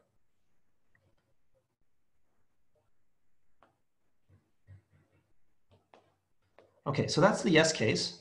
So if there really is a low energy eigenstate, um, Merlin can convince you of this fact. What about the no case? Um, and, and if Merlin actually gave you, uh, you know, T copies of some state psi, it doesn't matter what state, because we know that all states have energy at least B.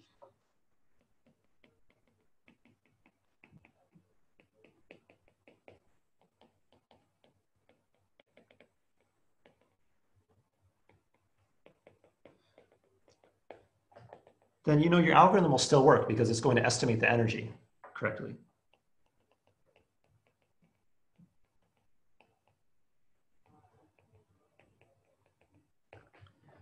Okay.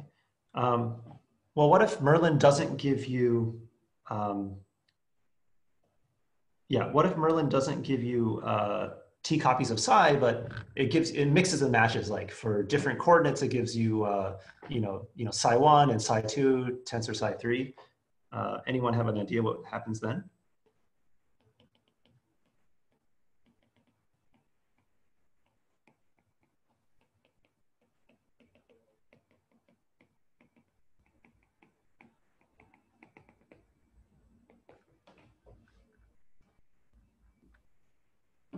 Will then you'll just in expectation get the average of their uh, energies, their uh, I, I, yeah, like their energies, um, which if they're not all the ground state, then it'll be uh, at least as or at least as big as the ground state energy. Mm-hmm. Um, so if you, the ground state is higher than B, and you take the average of a bunch of, or in expectation you get the average of a bunch of things that are higher than your ground state, then an expectation will get something higher than B. Exactly. So it, you know, Merlin can't convince you otherwise because, you know, each of these random variables, they, they might have a different distribution because you're using a different psi each time, but the average is always going to be above B. So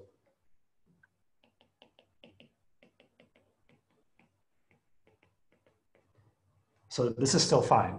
Arthur will be like, okay, it's not less than A. Um, the more nefarious thing is if, you know, Merlin sends a giant entangled state that's not necessarily like uh, a, you know, a bunch of tensor copies of, of, of states.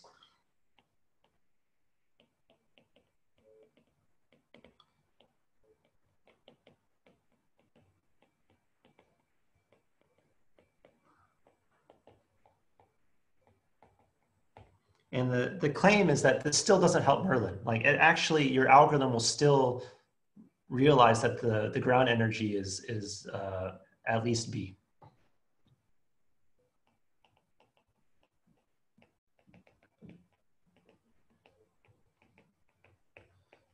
But this, you know, this requires sort of a, a little more intricate analysis, but it, but it is true. Like th this entanglement doesn't help Merlin.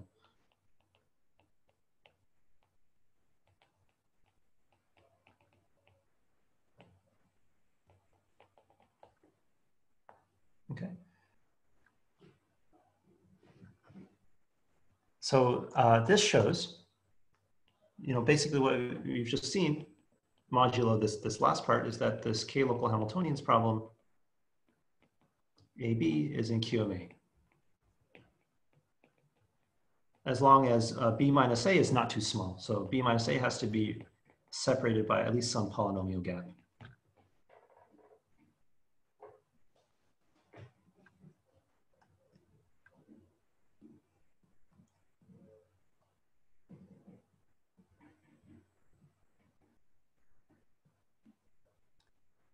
Okay, so, so far so good.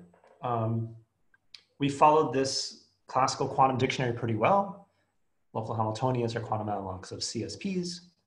Uh, we've shown that local Hamiltonians are in QMA, which is the analog of NP.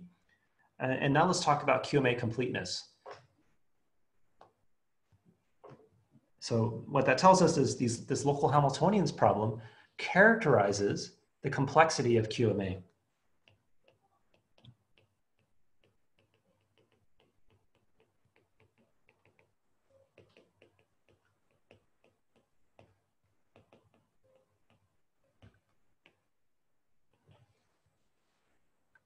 Okay, and this brings us to the quantum analog of the Cook-Levin theorem.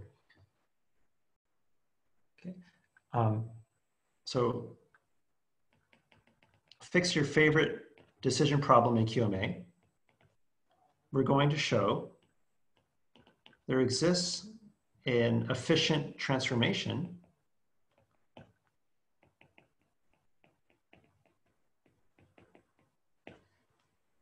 um, of instances X for this decision problem into local Hamiltonians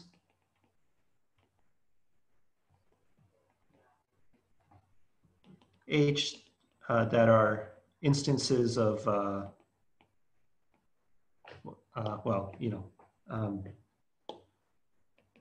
such that if X was originally S instance, then the ground energy of, of H is going to be small. And if X is a no instance, then the ground energy is going to be high, as where low and high are characterized by A and B.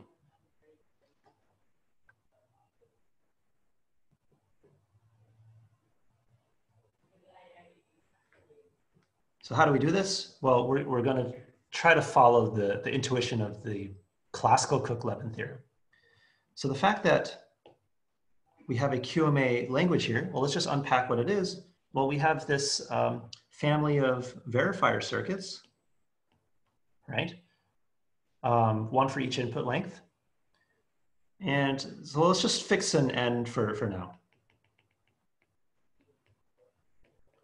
Okay, so we have this verifier circuit, this uh, A sub n, and we plug in this X. Merlin will hand us a proof. We have some ancilla qubits. We do some polynomial length computation, and then we can decide uh, yes or no instance with high probability.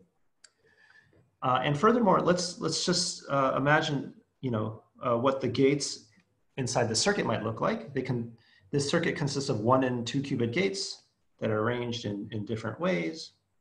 And let's call the gates uh, U1, U2, U3, and so, so forth. All right, up to the very last gate.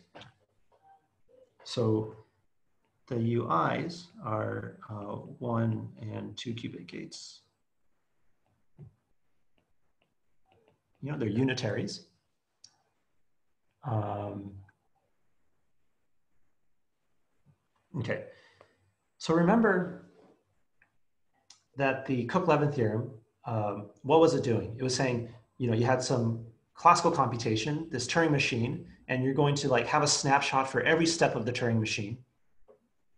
You're going to write each snapshot as a bunch of variables, and you're going to have constraints on these variables to make sure that the snapshots really are valid, like they transition to each other in a valid way. Um, also the snap, you know, the beginning snapshot starts okay, the ending snapshot ends okay, uh, and you sort of put all that together and you have a bunch of constraints that the only way to satisfy them is if the snapshots correspond to your verifier accepting on some proof.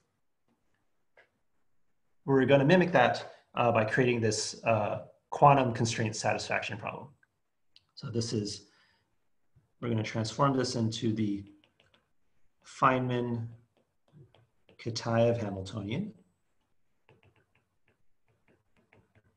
which is named after Richard Feynman and, and Alexei Kitaev, who, who kind of developed this idea. Uh, I'm going to call it uh, H, and it, it's a bunch of terms. Um, this H has ground states that look like this.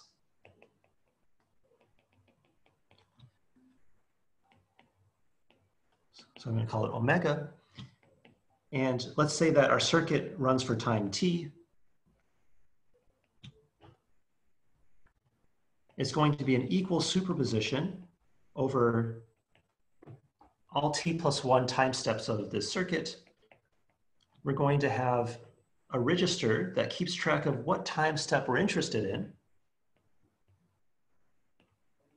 And we're going to have a snapshot of that intermediate state of the computation. So this is what I call the clock. Okay, it keeps track of what time it is. And this is going to be the t snapshot of the computation of a sub n, right? And more specifically, for every intermediate time t, this is going to be equal to some, you know, all the gates ut, u minus, ut minus one, u1 applied to the input of this circuit, which is going to be x, the supposed proof state, and zero.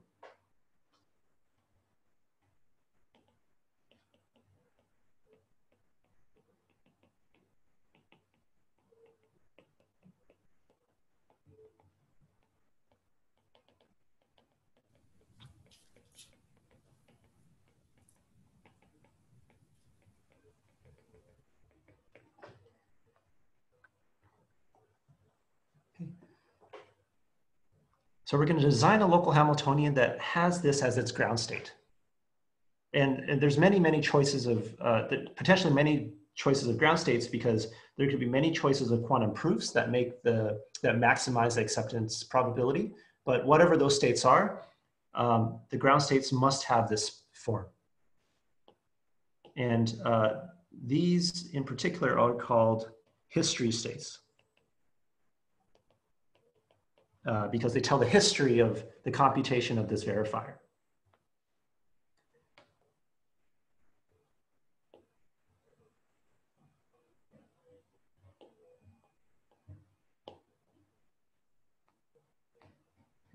Um, and, and, just to be clear, like, you know, suppose that the number of uh, qubits that this circuit acts on is, um, I don't know, let's give it a, a number like r qubits. Then the history states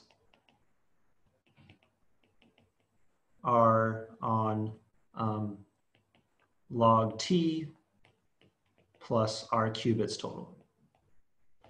Uh, why is that? Well, the snapshot part of it, this is uh, r qubits because, you know, the omega uh, sub t will be like, if you just like pause the computation at the t time step, that will be the quantum state of these r qubits. And then this log t here will be the number of qubits needed to represent the what time it is. Since time runs through one through t, you need at least log t qubits. So this is for the, the clock, and this is for the snapshot.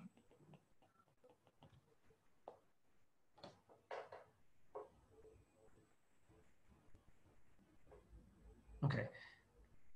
So hopefully you can start to see some resemblance between like this history state and this Cook-Levin tableau that we talked about last time.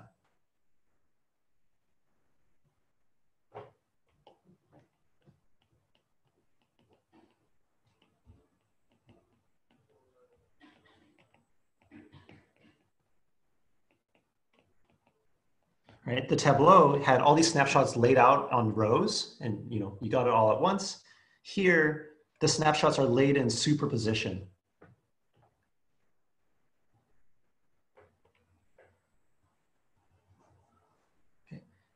Uh, okay so that's the, the ground state we're, we're aiming for. How do we design a Hamiltonian to obtain this as the ground state? Well, we're going to create terms that correspond to the starts okay check, evolves okay, and ends okay. Right, the starts okay is to make sure, so we're gonna have Hamiltonian terms to check. We're gonna check that this omega zero, the very first snapshot, which is the beginning of your verifier circuit, has this form.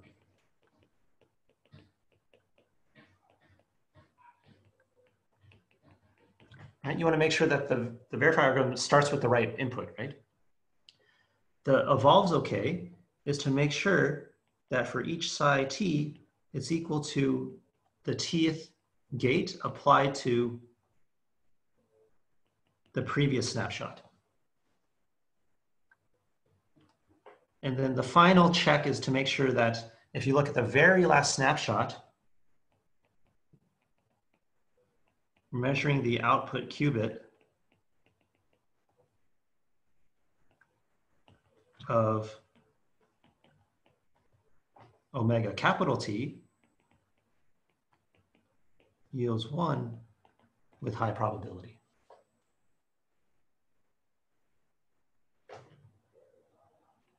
So if you walked up to me with some quantum state, uh, some history state that satisfies starts okay, evolves okay, ends okay, then what does this tell you?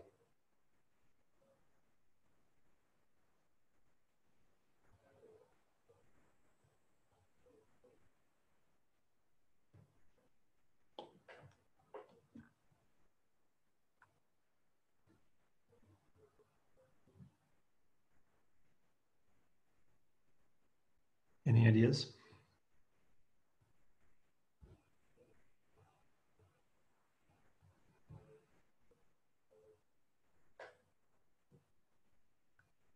What was the question again, sir? I was writing.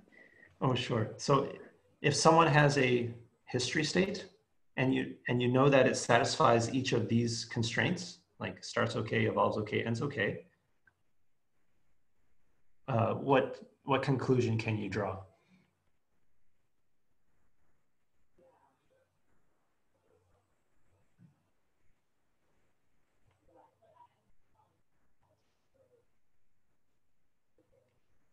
Right? This, this history state should be telling you a story, right? Like uh, it should be proving to you some some fact about this original circuit. It's almost um, tautological.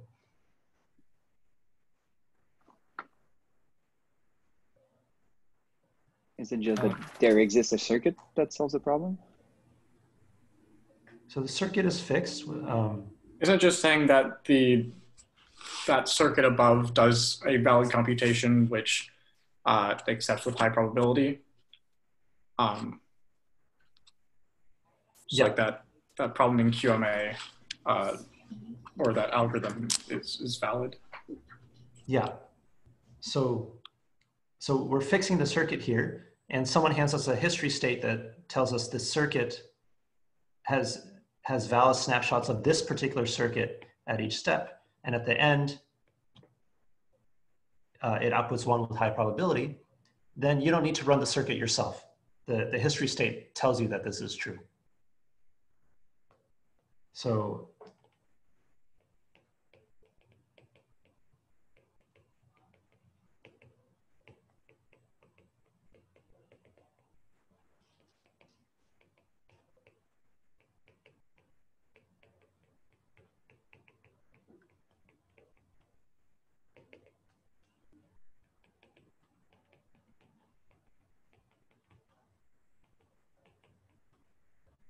So it tells you that there is some psi that's part of this history state where if you ran this circuit A on X psi and zero, outputs one with high probability, right?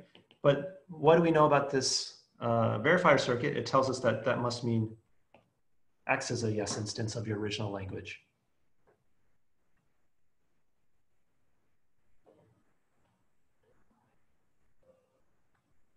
Okay. So uh, that's what this Hamiltonian is supposed to do. Um, and uh, I'll finish this up next time, but we're going to have a, a bunch of terms that corresponds to, you know, starts okay, evolves okay, and ends okay. And actually each of these will, will decompose into smaller terms.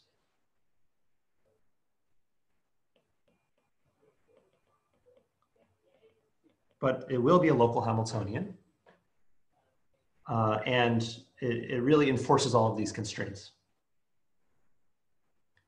So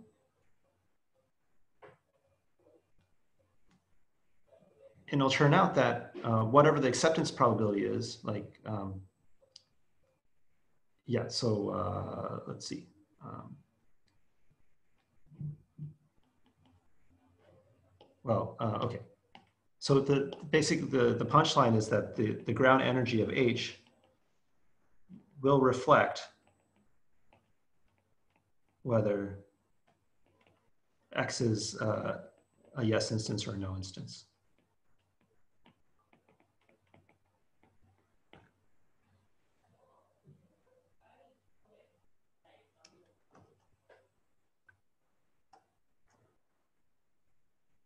And that, that completes this reduction.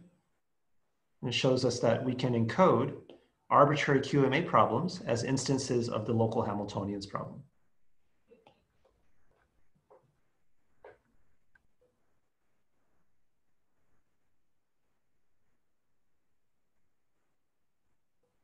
So uh, that's it for today. Um, I'm happy to stay on for a few more minutes and answer any questions that people might have. Um, next time, I'll describe what this Hamiltonian looks like. Uh, we won't uh, analyze every gory detail of it. Um, we'll just talk about it at a high level. Uh, and then uh, I'll jump into uh, this thing called the quantum PCP conjecture, um, which continues this theme of changing the notion of what we mean by mathematical proof. Okay, so thanks.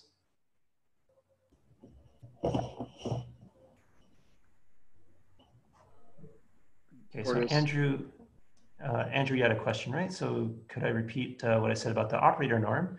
Yeah, so the, uh, the definition of the local Hamiltonians problem, we're assuming every term has a uh, maximum eigenvalue one. It's just to keep normalization consistent.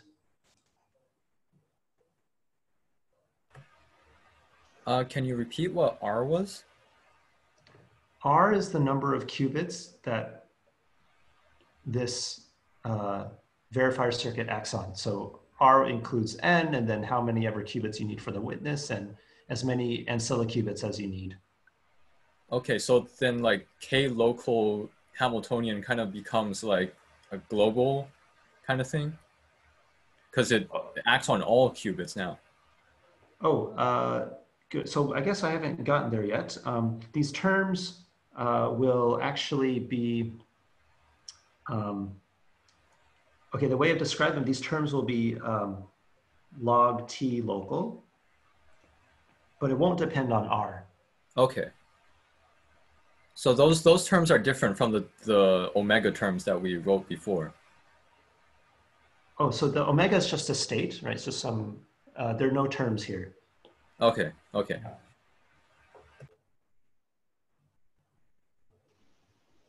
Uh, can I ask a question regarding to the quantum circuits? Mm-hmm. So, so imagine that the, the input to the circuit is a classical, a classical state. Then, and every every every element in the circuit is is k local.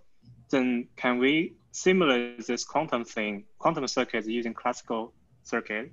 Because because obviously we can use a finite length of uh, polynomial length of this to represent this whole computation. Right? If we have like infinite precision, if we don't care about finite precision. Mm-hmm. Um, so in general, no, because even even if you allow yourself only two two qubit gates, right? Um, but the thing is, these gates can introduce entanglement. So uh, representing even after a, a, small number of these two qubit gates, you can generate entanglement that's so complicated that to write down the, the full vector of all n, uh, n qubits in your computation uh, would require, um, you need to keep track of like two to the n parameters. Uh, what, because it, it, might, it might be that the explicit terms is two to the power n, but can, is it possible that we have uh, something, uh, some measurement that is efficient, such that we can efficiently sample from this measurement from this state? Because we really, we really have a compact description for this state, given this, uh, this, this circuit. Right. Oh, good question. Um, so the whole belief is that it's not possible to, even in though you're right, like if you have like say a polynomial size circuit, you can rep, you can describe the circuit efficiently, but then to sample from say the output distribution of the circuit, uh, we believe is is actually intractable. Uh, we don't have a proof of this, um, but this is sort of the uh, at least the best complexity theory evidence is is that you cannot. Um, and um, you know, I mean, there's there's some like complexity theory proof in the sense that if you could sample from this distribution exactly, then you could solve uh, things that are provably hard, like you know, for example, computing the permanent of of some matrix. Um, uh, you know, so so we know that's um, uh, you know, so and you know, the assumption is that that's difficult for uh, um, for classical computers. I see. Thanks. Yeah. yeah.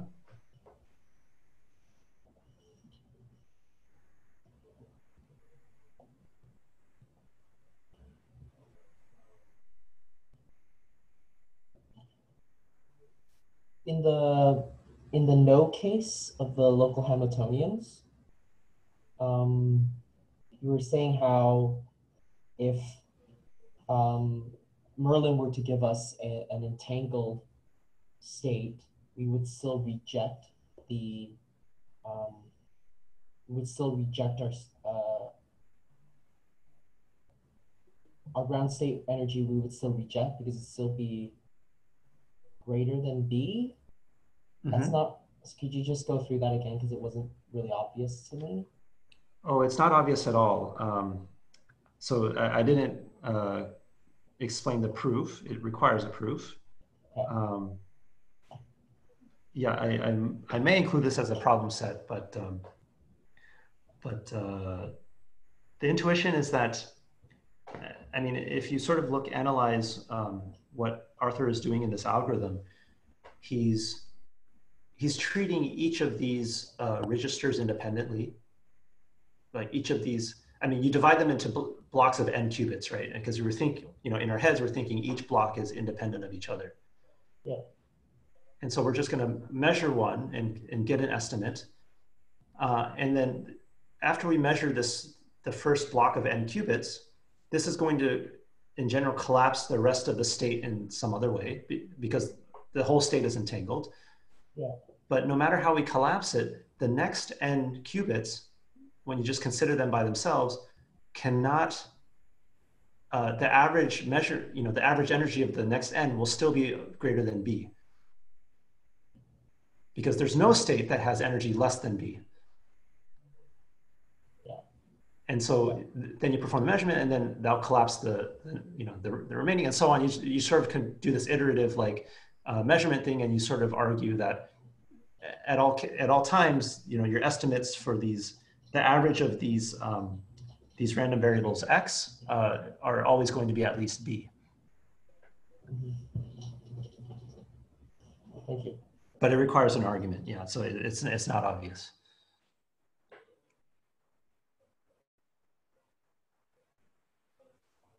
So the a quantum state or the entanglement looks pretty similar to a probabilistic Jordan dis distribution. So why do we really care about quantum computing instead of this, uh, like instead of like uh, probability theory? Is it because of it's more realistic? Uh, good question. Yeah, it, it seems like it's similar to general probability. Um, but the difference is uh, in quantum, uh, you can uh, have cancellation. Like you can essentially have what, think of them as having negative probabilities, which can cancel, you know, when you, when you sum up, like in normal probability theory, when you sum things up, you can only add things, like things never become less when you sum up probabilities.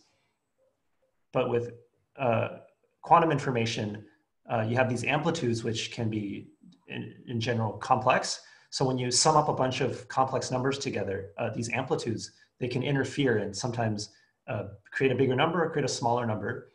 Uh, and that's gives a, you know, leads to a big difference between classical probability theory and, and quantum information. I see, that makes sense, thanks. Yeah.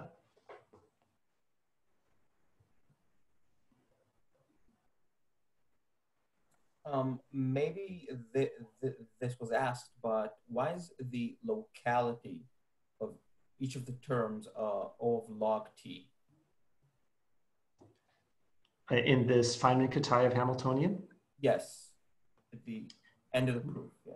Yeah, um, it's not necessary. Um, I mean, I, I, didn't describe this actually uh, because I didn't say what the terms were. Um, it comes from uh, I mean, the way I'm representing the timestamp here, the clock, I'm representing the clock in binary. Okay. So each, each of the clauses, you will look at the clock and, and do something based on what the clock is. Um, there's, a, there's a way that you can reduce the locality to a constant, say oh. two or three, just by encoding the clock in a better way. Basically, you, you encode the clock in, in unary. You just have like, you know, uh, okay. n ones to represent timestamp uh, n and there the locality will actually go down to like three or four depending on your encoding okay thanks.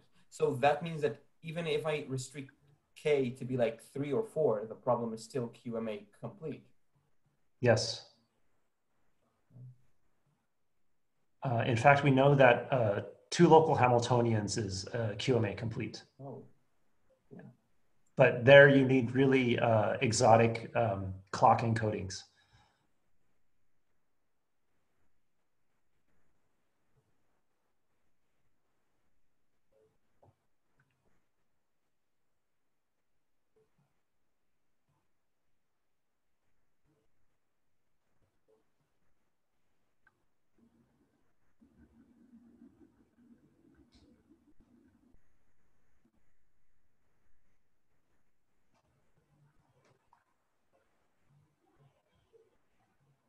So um, I don't know, for the rem remaining people here, like, uh,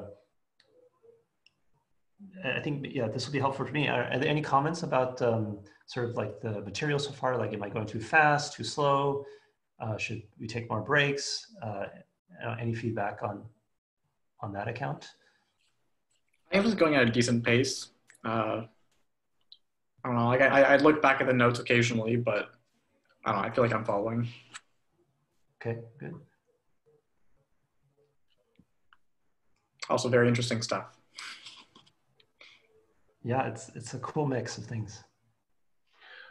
Yeah, it looks interesting, but I really I don't have a sense that I have an intuition of um, like I'm catching glimpses of what you're saying. So I'm wondering if there is. I mean, I guess I can go through the uh, lecture notes again, but is there like a text that can give a bit more of uh, introductory sort of material to this. Um, I presume most of your students in this course have a some sort of quantum or mathematical uh, background. Um, uh, for those of us who are from engineering, uh, who are encountering this for the first time, you know, like, so do you have some recommendations for that? Uh, yeah, I can provide recommendations. Um, you know, unfortunately, there are no, you know, this stuff is pretty new, so there's not like any definitive textbook. I can send you different lecture notes on that people have covered. Um, so what, what's your background? Uh, so electrical engineering, um, on the performance engineering and cloud technologies sort of side of things. Mm -hmm. So and uh, uh, so in terms of like math, probably I know you know like probability, uh, discrete math, um, linear algebra, advanced calculus, um, roughly the things there. Um, I'm falling back sure. on. sure, sure. I, yeah, I guess um, the way I'm going about it is it's really coming at from the perspective of it's like more theory, like it's a theory theoretical perspective on on this. Um, you know this. Yeah. So as you could probably tell. Um, Yep. Basically, it's you know we're we're taking like the ideas that come from complexity theory and saying, how can we use these ideas and and try to understand quantum many body systems in in a qualitative way, like in a conceptual way. Um, Okay, that's good. So I guess that one could familiarize oneself with uh, complexity theory in general. That'd be a you know kind of a nice way to get a context of it. yeah, I think um, that's coming where I, I'm coming at it from. Yeah. Okay. Great. Thanks.